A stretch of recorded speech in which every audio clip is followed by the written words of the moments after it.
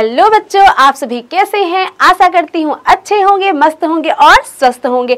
तो भाई, board series जो हमारा मिशन 2023 जो चल रहा है तो उसकी तैयारी में आप सभी लगे हुए होंगे, आशा करती हूँ। और मेरे साथ आप भी मज़ेदार लेकर के पढ़ रहे होंगे, लेकिन आप अभी अभी आप टेंशन में मत हो। यानी कि आप टेंशन लोगे तो जो पढ़ भी रहे ना, वो आप क्या करोगे, दिमाग से भूल जाओगे, ठीक है? तो आपको क्या करना है, सिर्फ़ और सिर्फ़ रिवाइज करना आप दिमाग में बस ये बैठा के रखो कि आप पढ़ चुके हो, सिर्फ़ आपको रिवाइज करना है। और जो लोग नहीं पढ़े हैं, वो मेरे साथ आकर के पढ़ते जाएँगे और बुक खोलते जाएँगे कि इसकी इसकी बात में हो रही है। तो भाई स्टार्ट करते हैं जो हमारा आज का सेशन होने वाला है, क्योंकि छत्तीसगढ़ बोर्ड का एग्ज़ाम है और बोर्ड एग्ज़ाम्स कैसा होता है, आप सभी को पता ही है। तो स्टार्ट करते हैं हमारे। मैं ज़्यादा टाइम वेस्ट नहीं करूँगी, क्योंकि कक्षा बारहवीं जीव विज्ञान, आपको डायग्राम बनाना, इसको आपको फ्लो चार्ट बनाना, ये सारे स्ट्रेटेजी आपने देखा हुआ है मेरा। तो आज के सेशन में सिर्फ़ और सिर्फ़ टॉपिक की हम बात करने वाले हैं। तो स्टार्ट कैसे करें हम? अपने किसकी बात कर चुके हमने एक अंक की बात कर चुके हम दो अंक के क्वेश्चन कैसे आते हैं, हम तीन अंक के क्वेश्चन कैसे आते हैं और पाँच अंक की मैं बात करूँ तो एक टॉपिक मैंने आपको बता दिया है, कौन सा मादा प्रजनन अंक के बारे में। तो आज के सेशन में स्टार्ट करने वाले हैं बच्चे, क्या आपके नर जनन अंग के बारे में, क्योंकि नर जनन अंग और मादा जनन अंग मुख्य, एकदम very very very important question है। तो यहाँ से आज की सीरीज़ में हम कैसे पढ़ेंगे? वही आपका बायोलॉजी वाला टीचर वाला दिमाग लगा लो भाई। मैडम, क्या बताने वाली है? डायग्राम और क्या बताने वाली है? फ्लो चार्ट और क्या बताने वाली है? तीसरा पॉइंट वाइज लिखने का तरीका। क्योंकि एग्ज़ाम्पल इसमें नहीं है तो अभी हम एग्ज़ाम्पल नहीं लिखने वाले। सीधे सीधे स्टार्ट करेंगे अपने कक्षा बारहवीं के जीव विज्ञान और जो कि है छत्तीसगढ़ बोर्ड का एग्ज़ाम ठीक है? तो टेंशन मत लो, आपके 70 मार्क्स कहीं नहीं गए हैं। आप सिर्फ़ और सिर्फ़ रिवाइज करते जाओ और पढ़ते जाओ। यदि आपको लगता है इसका इसका डिटेल जाना है तो आपको मेरे एप्लीकेशन में जाना पड़ेगा। हमारे आप अभिप्सा एप्लीकेशन डाउनलोड करेंगे और फटाफट वहाँ से पूरा का पूरा चीज़ लिख करके याद कर सकते हैं। तो स्टार्ट करते हैं हमारा ये जो मिशन 2023 है, जिसका टॉपिक है क्या? नर जनन तंत्र के बारे में। चलिए भाई स्टार्ट करें हैं। हम, हमारा वही यूनिट फ़र्स्ट का, तीन अंक का जो फाइव अंक का जो प्रश्न है, उसके ऊपर हम बात करने वाले हैं। तो इसी जनन चैप्टर से ही क्वेश्चन आने वाले हैं। सारे के सारे जनन से ही आने वाले हैं, इतना तो याद रखो, ठीक है? और पाँच अंक के कैसे कैसे बनते हैं, वो मैं आपको बता रही हूँ। तो इस पर ज़्यादा हम फोकस करते हैं। सीधे अपने टॉपिक के ऊपर चलते हैं, जो कि हमारा मादा प्रजनन खत्म हो चुका है, और हम बात करने वाले हैं दूसरा टॉपिक जो कि है क्या? पुरुष जनन तंत्र यानी कि नर जनन तंत्र का क्या लिखा प्रश्न? नामांकित आरेख बनाकर निम्न भागों का एक एक कार्य लिख रहे, जो कि आए हैं 20 में और 22 में, यानी कि 2020 और 2022 में ये प्रश्न आ चुका है। तो 23 में आने की संभावना भी है यहाँ पर। चलिए ऐसा मत करना, ऐसा मत सोचना कि 20 में आया मैम 21 में नहीं आया 22 में आया मैम 23 में नहीं आएगा, ऐसा आप दिमाग बिल्कुल भी नहीं लगाओगे, क्योंकि बोर्ड एग्ज़ाम में कुछ भी हो सकता है, कुछ भी, ठीक है? तो आप याद रखोगे, क्या ऐसे क्वेश्चन आ गए तो आपको कैसे लिखना है, उसको कैसे वहाँ पर डायग्राम बना करके, कैसे आंसर सीट को फिल करना है, उसके बारे में आप यहाँ पर देखने वाले हो। तो तीन टॉपिक यहाँ पर दिया क्या? सरटोली कोशिका के बारे में पूछा, कार्य लीडिंग कोशिकाओं के बारे में पूछा है, और तीसरा क्या है? शुक्रवाहक के बारे में पूछा गया है। ठीक है एक प्रश्न और आया था, जो मैं अथवा में अथवा में कर कर एक और बताना चाहती थी। क्या? कि नामांकित आरेख बनाकर किसका? न जनन तंत्र का। लेकिन कार्य के जगह में ये तीन कार्य को छोड़कर प्रोस्टेट ग्रंथि अधिवृषण के बारे में भी दिया हुआ है। तो ये दोनों ही प्रश्न अथवा में आ सकते हैं, इसलिए मैं पाँचों को एक साथ लिख दी हूँ। क्योंकि डायग्राम बना के हम सारे चीज़ों को समझाने वाले हैं। तीसरा प्रश्न एक और बन सकता है कि आपका नर जनन तंत्र का नर जनन तंत्र का डायग्राम बनाकर, यानी कि चित्र बना करके आप उसको समझाइए। ये भी फाइव मार्क्स का क्वेश्चन बनता है। तो आप फाइव अंक को फाइव अंक को जाने आपको नहीं देना है भाई साहब। ऐसा समझिए कि आपके पास एक लाख का नोट है, वही है ये आपका पाँच अंक। ठीक है? एक, दो, तीन तो चलो चलो, ठीक है, लेकिन पाँच अंक आपके कहीं नहीं जाने चाहिए। वैसे समझो आपके लाख रुपए वो चले जाएँगे। तो ये आपके सेवेंटी में सेवेंटी अंक लाने के लिए बहुत ही मज़ेदार रोचक आपका क्लास होने वाला है। चलिए भाई स्टार्ट करते हैं हमारा। ये जो पुरुष जनन तंत्र इसके बारे में थोड़ा समझते हैं क्या है। तो यहाँ पर अगर मैं इसको डायग्राम बनाते जाऊँगी तो थोड़ा सा ये क्या हो जाएगा? लंबा बन जाएगा। इसलिए मैं यहाँ पर एक डायग्राम बना करके आप लोगों के लिए रखी हूँ, और यही आपको प्रैक्टिस करनी है बेटा। ध्यान रखना, यही डायग्राम आपको बार बार बना करके प्रैक्टिस करनी है। ठीक है? चलिए स्टार्ट करते हैं हम। पुरुष जनन तंत्र के बारे में। तो ये आपको पुरुष जनन तंत्र दिख रहा होगा। अब पुरुष जनन तंत्र तो आपको अगर ये क्या है, हम थ्री डी इमेज डाल के रखें। थ्री डी इमेज किस लिए? क्योंकि आपको समझ आ जाना चाहिए, भाई इस तरीके से जो आपका नर जनन तंत्र होता है, वो इस तरीके से दिखाई देता है। अगर आपको यहाँ पर नाम नहीं दिख रहा है, कोई दिक्कत नहीं है, मैं आपको पूरा डायग्राम बना करके नाम दिखाने वाली हूँ। तो देख लो भाई क्या क्या चीज़ें हैं। ऊपर का जो हिस्सा है, जिसको हम कहते हैं क्या यूरिनरी ब्लैडर ठीक है? ये क्या आपका ब्लैडर है? आगे जो बात करेंगे क्या? वासा डिफरेंस है। ये आपका क्या है? वास डिफरेंस है, ठीक है? क्या है आपका? वास डिफरेंस है। आगे मैं डायग्राम में पूरा चीज़ बनाई हूँ। ध्यान दो, बस डायग्राम में दिखा रही हूँ कि अगर आप थ्री में देखते हैं किसी चीज़ को मतलब ये है कि मतलब मेन जो चीज़ है, आपको इसी तरीके से अगर बात करें तो एकदम ऐसे समझो कि ओरिजिनल चीज़ें हैं, ठीक है? ओरिजिनल कुछ इसी प्रकार से आपका डायग्राम दिखाई देता है, अगर अंदर को ध्यान से देखोगे तो। तो ये आपका क्या दिखाई दे रहा है? आपको दिखाई देगा ब्लैडर वास डिफरेंस दिखाई देगा यहाँ पर, ठीक है? कलर चेंज कर लेते हैं। ये आपका वास डिफरेंस है। देन ये आपका पेनिस पूरा पूरा भाग पेनिस है। अंदर में यूरेथ्रा होता है। देन ऊपर ये पूरा ग्लैंस बना हुआ है। इसको हम कहते हैं, पूरा भाग को टेस्टिस कहते हैं। मेन काम आपका टेस्टिस का ही होने वाला है। सिर्फ़ डायग्राम देखिए, अभी पूरा चीज़ हम बात करेंगे एक एक चीज़ के बारे में, ठीक है? ये आपका एपीडायडमिक है। इसको बोलते हैं एपीडायडमिस ठीक है? ये एपीडायमिक अधिवृषण की हम बात करेंगे। देन ये आपका क्या है? प्रोस्टेट ग्रंथि है। अभी इस चित्र में सब कुछ देखोगे प्रोस्टेट ग्रंथि सेमिनल वेसिकल के बारे में। ये सारा जो चीज़ है, देखो, ऐसा होगा, लेकिन जब आप चित्र बनाओगे तो ऐसा मत बनाना। आप कैसा बनाओगे? आप बनाने वाले हो इस तरीके से दिखाती हूँ मैं आप लोगों को कैसा बनाओगे। इस तरीके से डायग्राम आप बनाने वाले हो, ठीक है? अब कैसे बनाओगे, क्या है, ये सारी चीज़ें अभी हम देखने वाले हैं। सबसे पहला आप इधर ध्यान दो। ये आपका क्या है, पुरुष, यानी कि पुरुष का नर जनन तंत्र भी बोल सकते हैं या पुरुष जनन तंत्र भी बात करेंगे आप। अब पुरुष जनन तंत्र में क्या करता है? तो जैसे कि हमने फीमेल पे पढ़ा था, आप लोगों को याद होगा फीमेल में हमने क्या पढ़ा था? कि मादा युग्मक का निर्माण करता है। उसी तरह अगर हम नर की बात करें तो नर किसका निर्माण करेगा? नर युग्मक का निर्माण करेगा। किसका निर्माण करेगा? नर युग्मक का निर्माण करता है। और इसमें किसका निर्माण होगा? नर युग्मक कौन है? शुक्राणु है। कौन है बेटा? शुक्राणु, यानी कि स्पम है भाई, ठीक है? तो नर युग्मक कौन है इसमें? स्पम है, यानी कि शुक्राणु है।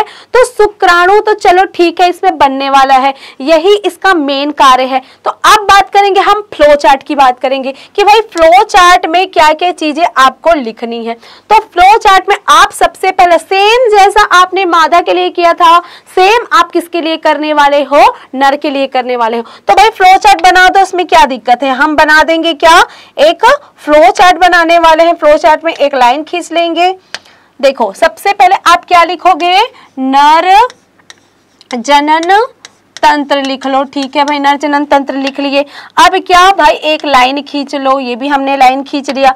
अब क्या, कौन सा लाइन खींचोगे? हम दो लाइन खींच लेते हैं। चलो, ये दो लाइन खींच लिया हमने। फिर क्या करोगे? एक एरो इधर बना दो। अरे, थोड़ा सा तिरछा हो गया। चलो, ठीक है, कोई दिक्कत नहीं। हम इसको सीधा कर लेते हैं। ये हम इसको मिटा देते हैं और हम थोड़ा सा इसे सीधा कर लेते हैं। चलो भाई साहब, सीधा हो जाओ, सीधा हो जाओ। ये हमने सीधा कर लिया। ठीक है? अब क्या करेंगे भाई? हम एक लाइन इधर से खींच लेते हैं, एक एरो इधर बना लेते हैं और दूसरा एरो हम इधर बना लेते हैं। दो एरो हो गया? तो नर जनन तंत्र के मुख्य दो भाग होते हैं। पहला भाग जो है, जिसको हम प्राथमिक अंग कहते हैं। ठीक है? इसको हम क्या कहेंगे? एक को प्राथमिक प्राथमिक जनन अंग हो गया। दूसरा क्या लिखोगे? द्वितीयक द्वितीयक जनन अंग हो गया। ऐसा बनाओगे फ्लो चार्ट इसमें, क्योंकि फ्लो चार्ट यहाँ पर बनेगा। पाँच अंक के सारे प्रश्न में आप ज़्यादा कोशिश करें फ्लो चार्ट बनाने का। और उसी के ऊपर में ही सारे कुछ लिख दीजिए, ताकि आपको अंदर जाने की, जो चेकर होता है चेकर को अंदर जाने की ज़्यादा ज़रूरत ही ना पड़े। हालाँकि उसको पूरा आपको लिखना ही पड़ेगा, लेकिन फ्लो चार्ट आकर्षित करता है, ठीक है? चलिए, प्राथमिक जनन अंग इसमें क्या होगा भाई? प्राथमिक जनन अंग होता है क्या? टेस्टिस यानी कि वृषण, ठीक है? प्राथमिक जनन अंग क्या है? इसमें वृषण होता है, ठीक है? अब दूसरा है द्वितीय जनन अंग की अगर हम बात करें तो इसमें वृषण के बाद क्या आता है? देखिए क्या क्या चीज़ आएगा इसमें, ठीक? तो यहाँ पर आप क्या लिखोगे? वृषण में शुक्राणु का निर्माण होता है। शुक्राणु के बाद यहाँ पर आप लिखोगे शुक्र शुक्र वाहक, ठीक है? शुक्र वाहक आप लिख दोगे। फिर क्या है? चलो भाई अधिवृषण ठीक है? अधिवृषण सबसे ऊपर में आप एक और लिख सकते हो स्क्रोटन जो कि इसी में आ जाएगा, लिखने की ज़रूरत है नहीं ऐसे। शुक्रवाक हो गया अधिवृषण हो गया, शुक्र शुक्र वाहिनी, ठीक है? शुक्र वाहिनी शुक्रवाहक यानी कि वासा इफ्रेंसिया, ठीक है? अधिवृषण एपिडाइडमिस ठीक है? शुक्रवाहिनी, उधर नाम लिखी हूँ, आपको दिखा देती हूँ, ठीक है? शुक्रवाहिनी, जिसको हम कहते हैं वासा डिफरेंसिया कहते हैं, या वासा डिफरेंस कहते हैं, ठीक है? नेक्स्ट जो आता है, जिसको हम क्या कहेंगे? सेमिनल वेसिकल यानी कि शुक्राशय। क्या आपका? शुक्राशय, ठीक है? शुक्राशय ग्रंथि है। देन आता है आपका प्रोस्टेट प्रोस्टेट ग्रंथि, ठीक है? फिर आता है आपका क्या? इधर लिख देती हूँ काउपर काउपर्स ग्रंथि ठीक है? काउपर्स ग्रंथि। तो इतना नाम आपको पेपर में लिखना पड़ेगा और ऐसा फ्लोचार्ट बनाना पड़ेगा कि जनन तंत्र के दो भाग, प्राथमिक जनन अंग द्वितीय जनन अंग ठीक है, वृषण हो गया द्वितीय अंग में शुक्रवाहक, अधिवृषण, शुक्रवाहिनी, शुक्राशय, प्रोस्टेट ग्रंथि और काउपस ग्रंथि आपको लिखना पड़ेगा। ठीक है, चाहो तो आप यूरेथ्रा भी वहाँ पर लिख सकते हो, पर यूरेथ्रा में यूरिन बाहर निकलता है, इसको आप यहाँ नहीं लिखोगे तो भी चलेगा। आगे एक्सप्लेन करोगे तो आप लिख सकते हो, ठीक है? चलिए, अब ये हो गया आपका फ्लो चार्ट खत्म। अब आते हैं हम डायग्राम की बात करते हैं तो अब आपका जो डायग्राम है, आपको बनाना है, कुछ ऐसा ही बनाना है। ठीक है? तो सबसे पहले हम बात करेंगे क्या? जिसका हमने पहला बात क्या किया? पुरुष में जो नर जनन तंत्र होता है, उसका प्राथमिक अंग क्या है आपका? टेस्टिस यानी कि वृषण है। तो वृषण का कार्य क्या है? सबसे पहले ये पूछा जाता है, वृषण क्या करता है? तो वृषण क्या करता है? शुक्राणु का निर्माण करता है। आप ये चीज़ लिखोगे, ठीक है? अब बात करेंगे इसी वृषण के अनुप्रस्थ कुछ काट की। हम बात करते हैं कि अनुप्रस्थ काट में क्या क्या चीज़ें आपको लिखनी है।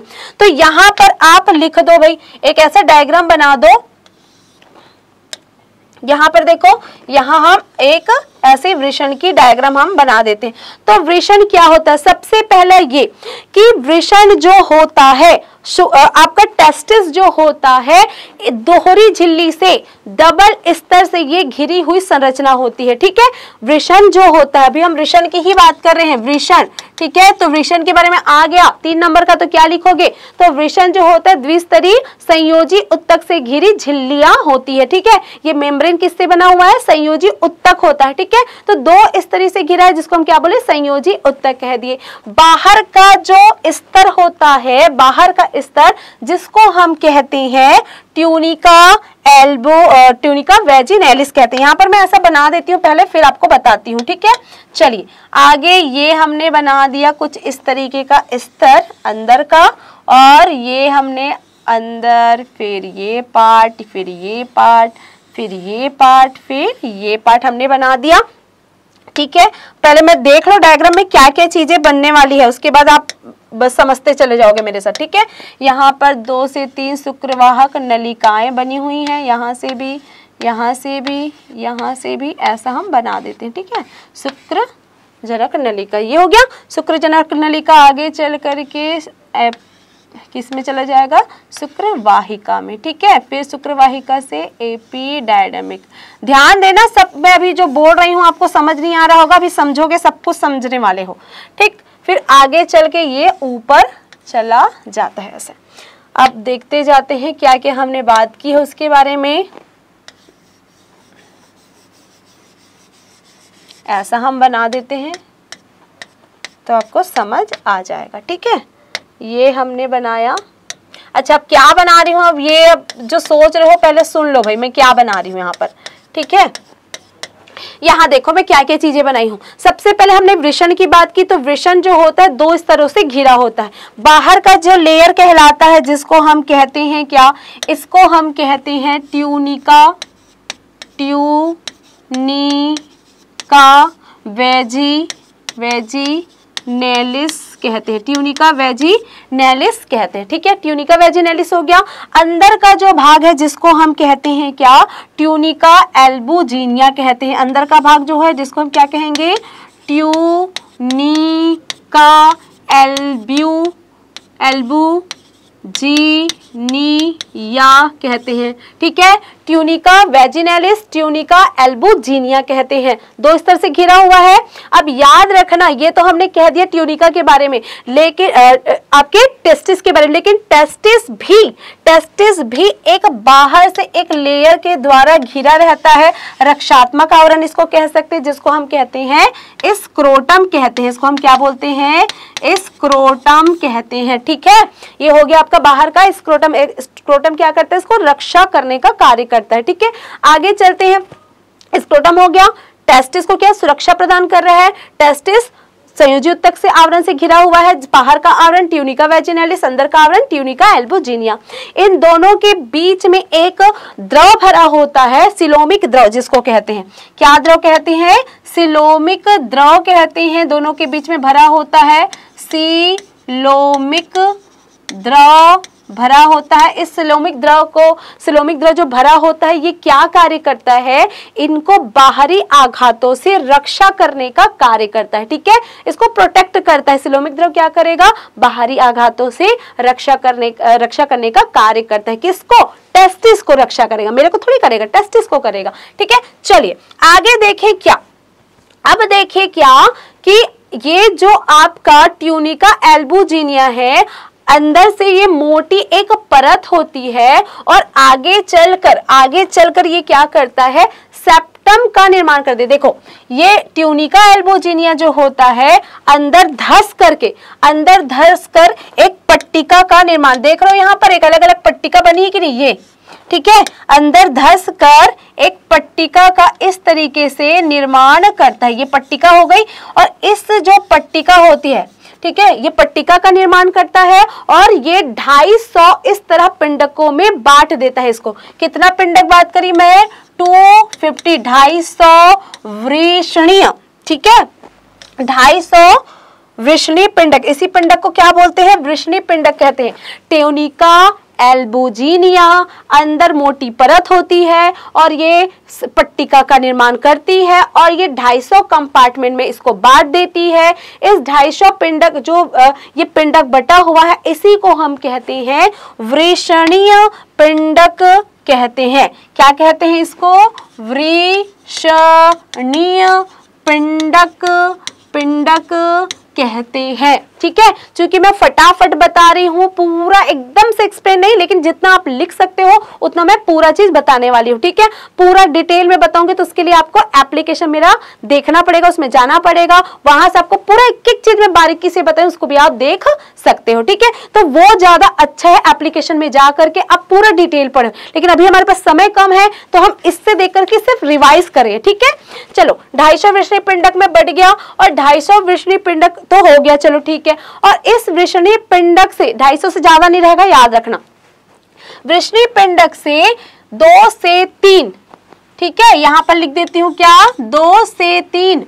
सेमनी फेरस ट्यूब्यूज यानी कि शुक्रजन शुक्रजन नलिका, यहाँ पर लिख देती हूँ शुक्र जन नलिका जो है, नलिका। यहाँ पर देखती शुक्रजन नलिका निकलती है। कहाँ से? इस ढाई जो पिंडक है, विष्णु पिंडक से दो से तीन शुक्रजन नलिका निकलती है और शुक्रजन नलिका से ही शुक्रजन नलिका से ही किसका निर्माण होता है बेटा? यहीं पर याद रखना किसका? इसी में होता है शुक्राणु का निर्माण होता है। ध्यान देना एक एक चीज़ बता रही हूँ बारीकी से। सौ विष्णु पिंडक, ठीक है? विष्णु पिंडक से दो तीन शुक्रजनिका निकलती है, वहीं से शुक्राणु का निर्माण हो जाता है। शुक्राणु निर्माण होता है, ठीक है, इसी नलिका से। तो अब शुक्र शुक्रजन नलिका आगे चलकर कहाँ खुलेगी? इसको हम बोलते हैं शुक्र वाहक शुक्रवाहक नलिका में खुल जाता है। ठीक है, ध्यान देना, ये कुछ और नहीं है। जितना भी मैं नाम बोलते जाऊँगी, ये कुंडलित नलिका ही होती है और कुंडलित नलिका आगे चल करके खुलती जाती है। बस, नलिका ही है, नाम चेंज हो गया है। वो कहाँ आकर के खुली, वो आकर कहाँ खुली, बस इतना ही देगा आपको। ठीक है? तो मेन काम टेस्टिस का है, शुक्राणु का निर्माण करना, इतनी चीज़ों को ध्यान देना। अब शुक्रवाहक नलिका में आगे आगे ओपन होगा, फिर शुक्रवाहक से आगे चलकर कहा चले जाएगा? ये आगे कहा खुलेगा? एपिडाइडमिस इसको बोलते हैं क्या? अधिवृषण कहते हैं। आगे चल के ये कहा ओपन होगा? अधिवृषण में। अब अधिवृषण देखो कितना कुंडलित ये नलिका होता है। ठीक है? सबसे ज़्यादा कुंडलित नलिका क्या है? शुक्रवाहक। आगे चल के कहा खुलेगा? अधिवृषण में शुक्राणु, जो बनते जाएगा, ये यहाँ खुलेगा। और इसके बाद अधिवृषण अधिवृषण जो होता है ये आगे चल करके ये तीन भागों में डिवाइडेड अभी बताऊँगी कौन कौन सा। ठीक है? अधिवृषण जो होता है, तीन भागों में डिवाइडेड होता है, ठीक? और अधिवृषण आगे चलकर ये ऊपर का जो स्ट्रक्चर बनाई हूँ अलग से, इसको हम कहेंगे क्या? शुक्र वाहिनी। क्या बोलेंगे? वासा डिफरेंस ठीक है? वासा डिफरेंस ये वासा इफ्रेंस वो वासा डिफरेंस इफ्रेंस डिफरेंस में थोड़ा सा डिफरेंस है, ठीक है? याद रखना अंतर है। शुक्रवाहक पहला नली है, लेकिन शुक्रवाहिनी जो है, सीधी सीधी, अभी तक ये कुंडलित पड़े थे, ये थोड़ी सी सीधी नलिकाएँ बना लेती, सीधा नलिका ठीक है? तो आगे चलकर जो ये ये वाला डायग्राम देख रहे हो, यही है एक वृषण का डायग्राम ठीक है? अब याद रखना so, ये जो अंदर का वृष्टि पिंडक का जो बात अभी हम कर रहे थे जैसे हम बात किए क्या दो से तीन शुक्रजनक नलिकाएँ होती है जो कि शुक्राणु का निर्माण करती है। लेकिन जहाँ पर बीच में जो खाली स्थान बच गया ये खाली स्थान बच गया इसको हम क्या बोलते हैं? इसको हम अंतराली इसको हम क्या बोलते हैं? अंतराली। अंतराली स्थान या स्पेस कहते हैं, अंतराली स्थान कहते हैं, और इसी अंतराली इंटरस्टेशल स्पेस कहते हैं, और यही इसी को लीडिंग लीडिंग सेल के नाम से भी जाना जाता है, याद रखना। लीडिंग सेल के भी नाम से जाना जाता है, अंतराली स्थान के नाम से भी जाना जाता है। अब अंतराली स्थान पर ही एक हार्मोन का, जो, जिसको हम कहते हैं, टेस्टोस्टेरोन हार्मोन का सिक्रेशन होता है। ठीक है? तो टेस्टोस्टेरोन हार्मोन क्या करता है? लड़कों में द्वितीयक लैंगिक लक्षण, यानी कि पुरुषों में द्वितीयक लैंगिक लक्षण को प्रेरित करता है, जैसे आवाज़ का भारी होना, बाल आना, ठीक है, जांघों में बाल आना, ठीक है तो ये सारे जो बाल जो शरीर में आ रहे हैं, या फिर हम बात करें आवाज़ का भारी होना तो ये सारे जो लक्षण है हार्मोन्स के कारण होते हैं। जो हार्मोन्स कौन सा है? टेस्टोस्टेरोन जब शुक्राणु बनता है, उसी समय इस टेस्टोस्टेरोन हार्मोन का भी सिक्रेशन हो जाता है। ठीक है? तो ये है कहा? अंतराली स्थान पर, जो कि शुक्राणु को कहा क्या करेगा? टेस्टोस्टेरोन आपको ग्रोथ करने का भी कार्य करता है। ठीक है? आगे देखिए, ये आपके वृषण का कार्य है। वृषण के बारे में पूछा डायग्राम बना के इतनी चीज़ें इसके बारे में आपको लिखना पड़ेगा। ठीक है? चलिए आगे देखिए यदि हम यदि हम इसकी बात करें, ठीक है? ये क्या है भाई? ये है आपका नर जनन तंत्र। इस डायग्राम को आपको बनाना पड़ेगा। तो इसमें क्या क्या चीज़ें दिखाई दे रही है? वृषण के बारे में अभी तक हमने बात कर ली। ठीक है? तो वृषण में ही, वृषण में ही क्या हुआ? शुक्राणु का निर्माण, इसलिए उसको प्राथमिक लैंगिक अंग कहते हैं। बनने के बाद वो रेटेटेस्टिस में चला जाएगा आगे चल करके, खुलेगा। फिर आगे चल के हमने क्या देखा? वो आगे चल के शुक्रवाहक, वाहक नलिका में खुलेगा। फिर अधिवृषण में। तो ये वही चीज़ें हैं। यहाँ पर शुक्राणु बना। बनने के बाद शुक्रवाहक फिर ये अधिवृषण में जाएगा। अधिवृषण से ये कहा चले जाएगा? ये चला जाएगा वासा डिफ्रेंशिया में, चले जाएगा वासा डिफरेंस में। ठीक है? और वासा डिफरेंस से कहा चले जाएगा? आपका सेमिनल वेसिकल ग्लैंड होता है आगे चल के सुक्र, ये शुक्राशय में शुक्राशय है। तो और यहाँ से ये कहा चलेगा? यूरेथ्रा में आ जाएगा। ठीक है? ये इसमें आ गया। शुक्राणु यहाँ बना यहाँ आ गया ब्लैडर में। देन उसके बाद यूरेथ्रा में चला जाएगा। यूरेथ्रा से ये बाहर निकल जाएगा। ये पूरा भाग पेनिस कहलाता है। ध्यान रखेंगे, ठीक है? क्या क्या चीज़ें? अच्छा ये चीज़ें डायग्राम बनाने के बाद आपको क्या याद रखना है, ये ध्यान देना है। आपको बात करना पड़ेगा, दो यहाँ पर दो तीन ग्रंथियाँ पाई जाती है, जिसको हम कहते हैं क्या? एक हो गया सेमिनल वेसिकल के बारे में पढ़ेंगे, दूसरा प्रोस्टेट ग्लैंड के बारे में, तीसरा कॉपस ग्लैंड के बारे में हम पढ़ने वाले हैं, ठीक है? तो इन इतनी चीज़ों को देखना और उसके बाद हमने देख लिया, वृषण में वो बना, आगे चल के खुलेगा, आगे चल एक नलिका में वो बाहर निकल जाता है यूरेथ्रा के द्वारा शुक्राणु, ठीक है? अब हम बात करेंगे इन ग्रंथियों का, क्योंकि ये पूछा गया क्वेश्चन है। तो ग्रंथि के बारे में देखिए कि ये ग्रंथि क्या कार्य करती है, ये ग्रंथि का कार्य क्या है, ऐसे तो इस दोनों के बारे में एक ही साथ पेपर में ज़्यादातर आता है, और इसके बारे में हम बात करने वाले हैं। तो चलिए देखते हैं इस ग्रंथि के बारे में, फिर ये हमारा ये टॉपिक जो है नरजनन तंत्र का खत्म। जितनी चीज़ें बोली हूँ, उसी को बस पॉइंट वाइज करके आपको लिखना पड़ेगा। ठीक है? सेमिनल वेसिकल क्या है? ये क्या है? वो सब एक एक चीज़ के बारे में आपको लिखना पड़ेगा। चलिए देखते हैं। चलिए तो अब इसके ग्रंथि के बारे में देखोगे, थोड़ा सा इसके बारे में हम बात कर लेते हैं। तो सबसे पहले आते हैं सेमिनल वेसिकल के बारे में। तो सेमिकल सेमिनल वेसिकल भी क्या है? एक ग्रंथि होती है और सेमिनल वेसिकल जो होता है, क्षारीय तरल प्रद्रव्य। ठीक है? कौन सा? क्षारीय तरल प्रद्रव्य का सिक्रीशन करता है सेमिनल वेसिकल जो कि वीर्य जो कि वीर्य का 80 परसेंट भाग बनाता है। ठीक है? इनके वीर में क्या पाया जाता है? फ्रक्टोज की मात्रा होती है। क्या होता है? फ्रक्टोज की मात्रा इसमें पाई जाती है। तो पूछेगा वीर का 80 परसेंट भाग कौन बना रहा है? सेमिनल वेसिकल से सिक्रिट होने वाला द्रव जो है। ठीक है? क्षारी होता है। क्षारीय शुक्र द्रव्य। ठीक है? तो ये क्या हो गया आपका? सेमिनल वेसिकल का हो गया। सेमिनल वेसिकल का कार्य क्या है? प्रोस्टेट ग्लैंड प्रोस्टेट ग्लैंड जो होता है, जलीय दूधिया, ठीक है? जलीय दूधिया द्रव का सिक्रीशन करता है। ये छारी ये छारी ये छारी का करता है और ये जली दूधिया द्रव का सिक्रेशन करता है। ये वीर का 20 परसेंट भाग बनाता है। ठीक है? ये 80 परसेंट और ये 20 परसेंट का भाग बनाता है। एक चीज़ और याद रखेंगे, नर में ही फ्रक्टोज जो है पाया जाता है। ठीक है? नर में फ्रक्टोज पाया जाता है जब किसी जब जैसे रेप होता है किसी लड़की का, ठीक? तो रेप में क्या चेक करते हैं? फ्रक्टोज चेक करते हैं। क्यों? क्योंकि ये लड़कियों में बिल्कुल नहीं पाया जाता, सिर्फ़ और सिर्फ़ पुरुषों में पाया जाता है। तो फ्रक्टोज को ही चेक किया जाता है, ठीक है? फ्रक्टोज की उपस्थिति को। तो ये हो गया आपका prostate gland and seminal vesicle last आते हैं कॉपर्स ग्लैंड की अगर मैं बात करूँ तो कॉपर्स ग्लैंड से भी एक द्रव का सिक्रेशन होता है और वो द्रव क्या करता है? चिकना बनाने का कार्य करता है ठीक है? वो क्या करता है? चिकना बनाने का कार्य करता है। किसको? जब आफ्टर सेक्सुअल इंटरकॉर्स होता है तो उस समय उस आ, उसी के कारण क्या होता है? वो चिकना हो जाता है, ठीक है? तो ये क्या होता है? कॉपर्स ग्लैंड होता है। नेक्स्ट देखिए क्या है? देखिए तीन ग्रंथि, तीनों ग्रंथियों के बारे में आपको लिखना पड़ेगा। क्वेश्चन क्या है? ग्रंथि के बारे में पूछा जाता है तो ग्रंथि के बारे में आप लिख सकते हैं वहाँ पर, ऐसा एक एक लाइन से, ठीक? अब एक चीज़ और याद रखेंगे, जब मैंने कहा था क्या? ये वाला डायग्राम देखिए थोड़ा सा ध्यान दीजिए।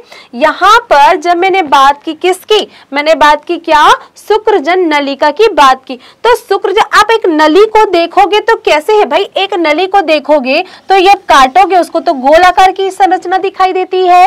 और इस गोल आकार की जब संरचना को ध्यान से देखोगे, ये कट गया, मैंने गाट दिया, और गोल आकार की संरचनाएँ दिखाई देती है तो यहाँ पर जब शुक्रजन नलिका को काटोगे तो यह दो टाइप की कोशिका निर्मित करती है। पहली जो कोशिका निर्मित करती है, जिसको हम कहते हैं शुक्र जन कोशिका कहते हैं। क्या कहते हैं उसको? शुक्र जन कोशिका कहते हैं।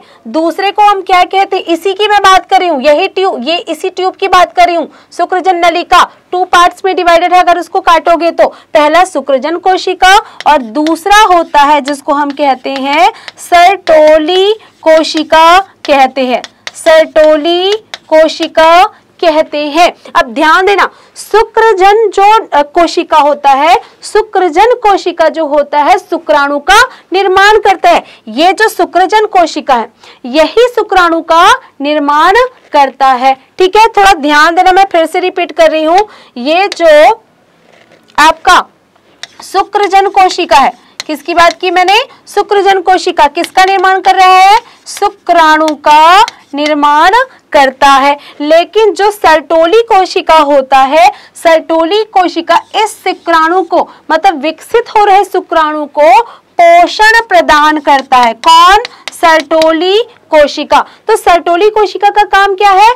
पोषण प्रदान करना, किसको? शुक्राणु को, ठीक है? तो ये चीज़ें आपको याद रखनी पड़ेगी। ये क्या भाई साहब? ये है आगे रेटे रेटेटेस्टिस थोड़ा ध्यान देना।